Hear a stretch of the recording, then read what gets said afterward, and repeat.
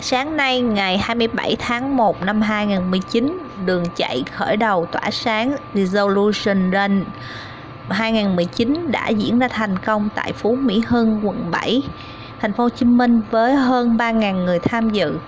Đây là sự kiện chạy bộ thường niên dành cho những người yêu thích chạy bộ do Sun Life Việt Nam tài trợ với mục đích giúp khách hàng đạt được an toàn tài chính trọn đời và tận hưởng cuộc sống khỏe mạnh hơn.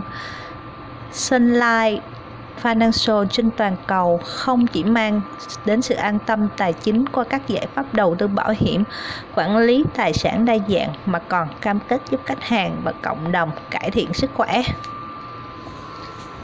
Rồi.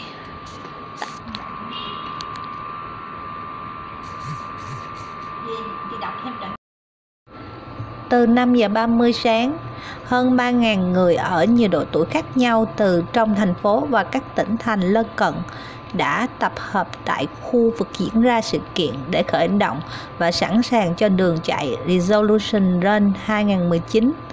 Đúng 7 giờ 10 phút, hơn 1.700 vận động viên xuất phát cự ly chạy 10 km và 7 giờ 20 phút hơn 1.300 vận động viên xuất phát cự ly chạy 5 km với sự hào hứng thể hiện quyết tâm sống khỏe và lối sống năng động của người trong sắc áo vàng rực không chỉ tạo ra bầu không khí náo nhiệt trên đường chạy mà còn giúp mỗi người tham gia tận hưởng niềm vui trong một sự kiện thể thao mang tính cộng đồng cao. Tên tên gì vậy? Tên đầy đủ nha. Mình tên Trần Văn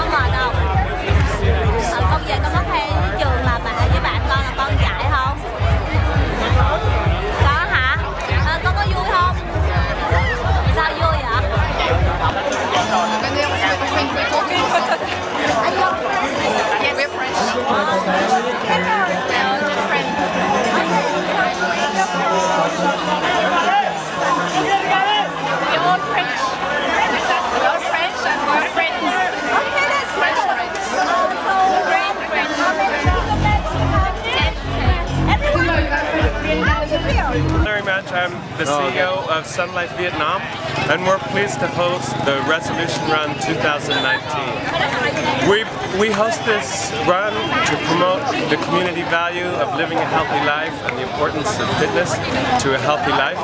And we're really pleased that this year, while we have the same purpose, we're able to have improvements. We now have accident insurance for our runners. We have chip technology so that we can have more accurate And we're pleased to donate the money that was for the runners kits to the Ho Chi Minh City Foundation for Poor Patients so they can have better treatment of di- diabetes.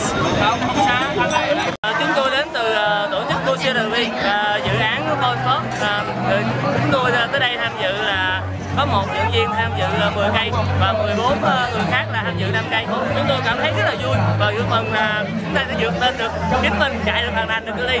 Một, hai, ba. Yeah!